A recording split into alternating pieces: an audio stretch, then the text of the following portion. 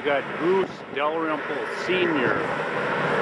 plowing the streets March 24th, 2018. He's ready to retire.